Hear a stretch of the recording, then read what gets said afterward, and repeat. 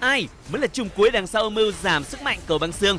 Tin hot anh em ơi, cụ thể cầu băng xương thời gian đóng băng sẽ bị giảm từ 2 giây xuống chỉ còn 1,5 giây. Đây là món trang bị cực hot với khả năng ao chiều đỉnh cao. Đặc biệt, ao lôi điểu tu len cực gắt. Đây là món đồ quốc dân, mọi tướng đều có thể lên nhờ phù hiệu cầu băng xương, kể cả đó là sát thủ, xạ thủ hay là pháp sư. Liệu nhà làm game có đang ưu ái quá nhiều cho tu len? Bạn nghĩ sao về cú chỉnh sửa này? Trẻm game comeback rồi đây anh em ơi. Lúc đầu tưởng là cú bình thường. Ai dè là Covid anh em ạ. Hết bất tử rồi. Ok, mấy thanh niên này chưa gì định cướp rừng của mình rồi. Mình chơi tu len mà anh em. Sợ gì mấy thanh niên này. Đặc biệt là có những vị tướng ở dạng đầu game không phải dạng vừa. Bạn có muốn một cái bộ trang phục tuyệt vời giống trải game với vị tướng tu len này? Hãy lên ngay tiền gì sắp vn nha anh em ơi. Chọn nick chọn trang phục chọn tướng. Theo sự chọn của anh em luôn. Góc trái mình của anh em ấy đó chính là trang bị và bảo ngọc gợi ý đúng trong trận đấu này luôn. TNG bảo với anh em rồi đó chính là Q&A ấy khi mà trải game khỏe sẽ thực hiện ngay cho anh em. Thực sự bây giờ ấy thì cũng chưa phải là gọi là bình phục lại một trăm trận đâu nhưng mà có thể chiến đấu được nhá. Và góc trái mình của anh em đó là những ờ, uh, TNG gọi là những uh, reaction lại. Uh, tức là anh em sau khi xem thấy là cái cầu băng xương bị giảm sức mạnh và như anh em đồng lòng đồng tình với trải game rằng đúng chính xác chính nó và là Tulen là kẻ chủ mưu. bởi vì à, người được hưởng lợi rất là nhiều đó chính là Tulen đúng không nào anh em? Còn anh em sao? Được viên comment dưới phần bình luận của ý tốt nhá. Bảo là bình phục nhưng mà thực sự thì à, cái họng của trải game vẫn chưa được ổn cho lắm. Thành ra là về, về cái vấn đề gọi là hú hét hay gì đó thì các bạn thông cảm với trải game nhá. Chủ yếu là chia sẻ với anh em thôi. Chơi Tulen thực sự rất là thích những trận đấu mà đồng đội có những vị tướng gọi là khô máu dám băng càn. Đặc biệt trong trận đấu này thì à, chúng ta có Zata này anh ấy trời ơi anh Zata anh vào đi. Ui sao anh lại gấy cánh? Cái pha này anh Zata gấy cánh buồn lắm anh em ạ. Đáng ra pha đấy là ăn chắc rồi đấy. Ai dè anh Zata buồn. Mình buồn một anh em ơi. Chắc là anh Zata cũng buồn 10 đấy. Hết ơi, Lumbua còn khỏe không? Thế anh ấy, em thấy chơi 10 trận, tận 5 trận người ta chơi cơ. Lumbua rất là mạnh và đáng chơi. Kể cả là kẻ địch có Arum nhá. Chỉ cần là đồng đội chúng ta chơi Lumbua Tiên Di đảm bảo anh em một điều. Cái thằng Arum muốn chạm vào xạ thủ nhà mình ấy Hơi bị khó luôn. Chạm vào lại đẩy chiêu một ra Muốn vào lại đùn chiêu cuối. Đáng sợ chưa? Hôm nay thì à, chưa hỏi hết được nhưng mà trải game à, sẽ cố gắng trả lời tất cả câu hỏi Q&A cho anh em.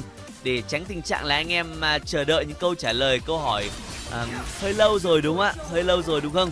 Bởi vì uh, trải game đã bị nghỉ ốm là năm chắc phải tầm uh, gần 5 ngày rồi anh em ơi. Gần 5 ngày thì cái cổ họng của trải game mới có thể ghi âm lại được. Đáng sợ rồi đấy chút TNG kể lại cho anh em về hành trình uh, mất cái bất tử khi bị dính Covid nhá. Ed ơi, nếu kẻ địch nhiều tướng phép quá, Nagdot có nên lên gươm Ude không? Câu trả lời trả game là không. Các bạn có thể lên nếu mà nó có tận hai phép trở lên thì có thể lên ở slot 5 nhá. Đây, bộ ơi, tôi tới nè. Vào. Chính nó anh em. Chính nó, chính nó. Zata đã sửa sai và mình đã căn đủ thời gian rồi nhá. Có một ai đó ở trong cái bụi cỏ này Ôi rồi ôi cái ông Zata này chủ quan thế nhở Mình đang suy tính xem là liệu cái thằng Brian nó sử dụng chiếc cuối chưa và mình nghĩ rằng nó chưa quyết định là về thôi anh em cái đợt covid vừa rồi thật là nguy hiểm anh em ơi nó không phải là nguy hiểm về uh, sức khỏe mà nguy hiểm nhất đó chính là làm mình mất cái giọng mất cái giọng ghi âm sốc đam nè không biết là cái ông vera cái pha vừa rồi là nó đang chọn ai chính vì cái sự uh, lấn cấn của vera mình đã quyết định là ao chiều và ăn ngược lại ngay FPS là gì vậy? Tại sao máy em không có? Có thể là máy bạn là không bật hoặc là máy bạn cùi quá. Chỉ có hai nguyên nhân như vậy thôi. FPS giúp anh em có thể ờ, chơi game mượt mà và tuyệt vời hơn. Như trải game là FPS là 60 này anh em ơi. Trải game sử dụng được chính là iPhone nha anh em nhá. Sử dụng iPhone để quay thôi. Nhiều anh em bảo là Android dùng 120 FPS nó xịn hơn. Thực sự thì trải game chưa được trải nghiệm bao giờ. Nên không biết ông nào mà có đồ xịn thì úi giời ơi! Dễ dàng dễ dàng. Thanh niên chưa kịp bật chiếc cuối kìa. Anh em nào mà có kiểu là chiếc điện thoại Android nào xịn xịn hay là gaming phone gì đấy ạ mà được chơi kiểu 120 fps có thể để lại cảm nhận cho trải game mà chung vui tí nhá đợi đợi anh em ơi. Đợi xem là anh à, uh, Somen lại có dụ được Omen không chứ chúng ta không thể vào được. Cái đợt covid này uh, khiến cho trảm game uh, được nghỉ ngơi vài ngày. Nói là nghỉ ngơi ấy thực ra hôm đầu tiên là tiên di bị uh, cúm cảm lạnh này. Sau đây là uống thuốc đúng không ạ. Uống thuốc là khỏi khỏi luôn anh em ạ. Khỏi luôn. Chạy nhảy thể dục thể thao thoải mái. Nhưng mà tệ cái là không thể ghi âm được. Mất giọng luôn. S ơi gặp flow ở đầu game nên lên đôi giày nào bạn lên đôi giày kiên cường hạn chế bị khống chế nhá. Chứ còn à, giày giáp hộ vệ Flo nó cũng chỉ thế thôi. Đồng đội đang băng xả kìa. Nhưng mà chúng ta cảm thấy là cơ hội chưa tới thì các bạn cứ từ từ thôi. Đợi chờ nha anh em nhá đợi chờ là hạnh phúc. Đặc biệt là khi mà team địch muốn ăn rồng mình chắc chắn cái pha này là không thể can thiệp được rồi. Bởi vì Arum nó cứ à, chiếm trệ đấy làm sao vào được? Lại còn cả Vera các thứ đúng không ạ? Rất nguy hiểm luôn. Ui. Cái pha này liệu mình có bóp thằng gia tao không anh em? Nếu mà có bóp thì à, đen thôi anh em ạ. Cái pha đấy là mình không nghĩ rằng nó sẽ xích thằng gia ta đúng không? Khổ thân thanh niên. Ôi, thật xong rồi? Người ta, đây đây đây liệu có phải là minh chứng của câu người ta là gieo gió gặt báo không anh em? Chạy thôi. Tìm địch ép căng quá thực sự đi trận đấu này á khi mà tiên địch pick các vị tướng kiểu là arum này rồi omen ấy thì tiên cảm thấy hơi áp lực ở đấy. Đặc biệt là khi kẻ địch pick thêm cả quả vera tức là chút đấy chắc là mình sẽ phải lên cái cầu băng xương để có thể ao chiêu của địch nhanh em nhá. Như thế mới thể dễ dàng chơi được. Tulen thì à, chơi rất là dễ dàng thôi. Anh em đi rừng ấy thì cứ nâng mắc chiêu hai ở trảm game để à, tăng thứ nhất là độ cơ động này băng xả và khép góc dễ dàng hơn. Còn cái uh, chiêu một ấy là để anh em uh, rỉa xa thôi. Nhưng với trảm game trận đấu này ấy là trận đấu phải là băng xả kiểu mình đi rừng mà anh em. Quan trọng là băng xả và ăn mục tiêu. Error cho em hỏi là giữa Victor và rioma tướng nào ngon hơn? Với trảm game thì à, uh, trảm game thích con rioma hơn. Chỉ đơn giản là nó cả hai tướng đều là tướng đánh mạnh ở đầu game nhanh nhá. Nhưng mà tiện gì vẫn thích con này hơn. Cái pha vừa rồi hình như là cái thằng Vera nó che chứ sao anh em ạ. Chứ pha đấy thì thằng Arum làm sao mà né được nhở? Hay là trừ khi nó lên đó chính là cái à, cái đồ trợ thủ đúng không ạ? Đồ trợ thủ búp giáp thì mới thể né được mà thôi lần đầu bị covid của anh em ra sao? Có thể uh, chia sẻ dưới video trải game được không? Trải game thì đúng là đúng một hôm bị uh, sốt cảm lạnh khó ngủ. Hôm sau là uống thuốc và là sạch bong cái kít luôn. Hôm sau là tập thể dục thể thao ghim gùng các kiểu ok bình thường. Và anh em biết đấy tiên di từng thông báo cho anh em là đợi tiên di uh, khỏi uh, tức là khỏi cái họng đấy ạ. Thực sự nha, anh em nào mà nghe quen trải game ấy sẽ biết được rằng cái họng của trải game bây giờ nó chưa hẳn là bình phục một trăm trăm đâu. Nhưng mà nói được anh em nghe được và anh em hiểu được là tiên di triển luôn.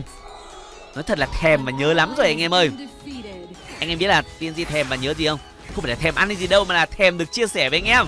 Đấy, thèm được làm clip, không nói được ức chế lắm anh em ạ. À. thật. Ed ơi Nagdot có phù hợp kiếm. À sorry anh em. Nagdot không chơi phù hợp kiếm có ổn không? Em thường thay phù hợp bằng thánh kiếm. Còn ở shot 5 sẽ là nhanh. Ok, câu hỏi rất là hay và thú vị thực sự thì à, uh, TNG phải uh, chia sẻ cái cảm nhận cá nhân nhá là trảm game uh, thường lên phù hợp kiếm bởi vì nó rất là quen tay và hợp cái lối chơi của trảm game. Còn về vấn đề là không lên phù hợp kiếm thay bằng các trang bị khác như là thánh kiếm rồi sau đó các bạn là lên uh, nanh nủng đúng không ạ? Thì uh, tiên di nói thật nhá với phương diện cá nhân là chất thép nên không thể nói được. Nha anh em nhá có thể là vẫn chơi được nhưng mà có thể là không thuận tay của trảm game nhưng mà trảm game muốn nghe được cảm nhận của những anh em nào mà đã chơi theo cái lối chơi đó. Có thể comment cảm nhận của anh em được không? Có thể là trảm game học theo bạn thì sao? Đúng không nào? Đừng quên rằng kênh này là kênh học hỏi và trao đổi với nhau mà. Nên các bạn có điều gì hay ấy comment đi. Mình xanh lắm rồi, mấy ông ơi. Anh em có thể để ý mấy cái pha cuối vừa rồi. Mình dí quả nào là ăn quả đó hả? wow một à, bạn fan của Blackpink viết rất là dài nhưng mà đơn giản một câu đó chính là mùa này là em à, chưa lên cao thủ được. Thì S có cái lời khuyên gì cho chả, à, cho cho em được không? Lời khuyên của S gửi tới em ấy đó chính là hãy xem lại các video clip Thiên Di làm về rank đơn đặc biệt là các vị trí vị trí nào bạn chơi ấy bạn xem lại. Thì bạn thấy được rằng Thiên Di thường gợi ý cho anh em chơi các vị tướng ít phụ thuộc. Nhưng mà cái điều quan trọng ấy bạn chơi game thời điểm này là hơi sai rồi đấy.